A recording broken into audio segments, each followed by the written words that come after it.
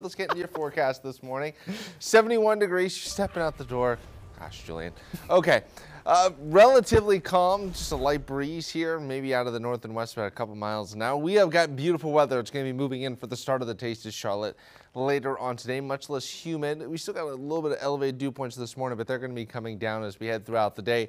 Saturday looks nice as well, but still both days we're going to be in the upper 80s, maybe around the 90 degree mark on Sunday as we see another frontal boundary, the potential for some scattered showers and storms. Starting to see the lower dew points beginning to creep in uh, across central and northern portions of North Carolina. A few places a few degrees less humid compared to this time yesterday. Still though, Maybe you're going to be getting some ice cream or any type of uh, cold beverage. Well, it's going to be melting relatively quickly here as we're going to be seeing temperatures again back up in the upper 80s. Pinpoint satellite radar this morning, it's mostly clear. No issues here. Let's zoom out. Let's go wide here across the eastern half of the country. What do we got going on? High pressure. It is in control right now, and it's going to be staying in control over the next a couple of days. Futurecast, though, we're going to roll through your weekend and your full taste of Charlotte forecast.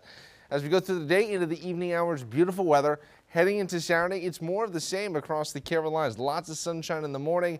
As we head into the afternoon, just a couple of clouds out there. But Sunday will be that potential that we might see a couple of showers and storms flare up here. See more cloud cover in the morning, already maybe a sprinkle or two around Statesville. But I'm going to be watching the afternoon hours. This is 445 on your Sunday up in the mountain. You see some showers and storms trying to move through, continuing into the evening hours. I don't think it's going to be a major deal across the Carolinas, but if we're going to see any wet weather over about the next three or so days, it's going to be Sunday afternoon and your Sunday evening. As for the next 12 hours, we're heading up into the upper 80s, a beautiful forecast in store, upper 50s to around 60 for those overnight lows, feeling more comfortable.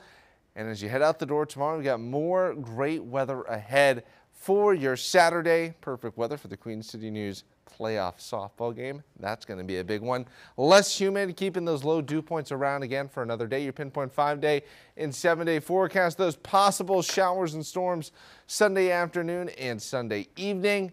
And then could see the low humidity stick around into next week.